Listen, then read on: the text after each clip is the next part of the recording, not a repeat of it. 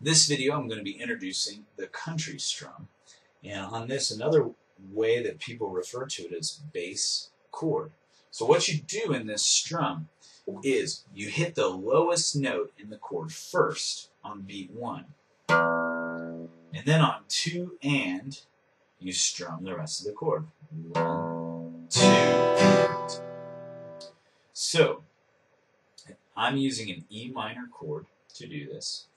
And so uh, you'll end up playing the, the lowest string, the sixth string, because that's the lowest note in the E minor chord, on beat 1 and beat 3. And then you'll play down, up, 2, and, and you'll also play on 4.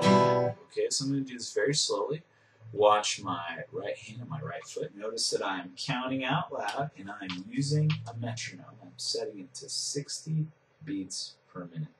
So, in this strumming rhythm, you don't play on the end of one or the end of three. And on beat one and beat three, you are hitting the bass note, the lowest note of the chord. Again, we're playing E minor. So here's a demonstration of the country strum pattern with a metronome and counting out loud. Two, three, four. One, two,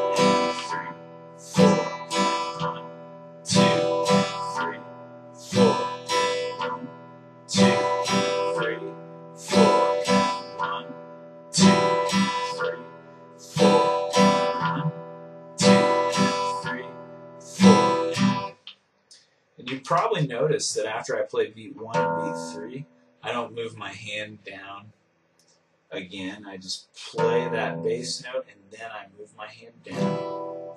So when I pick the single string, that's a downstroke, and then when I do the next strum, it's also down. So it's going down, down, down, down, bass, strum, bass,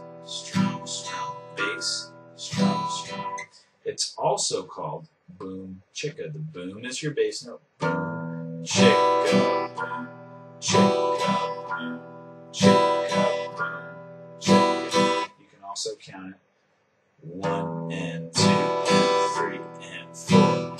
But you do not play on the end of one or the end of three. That's the country strum.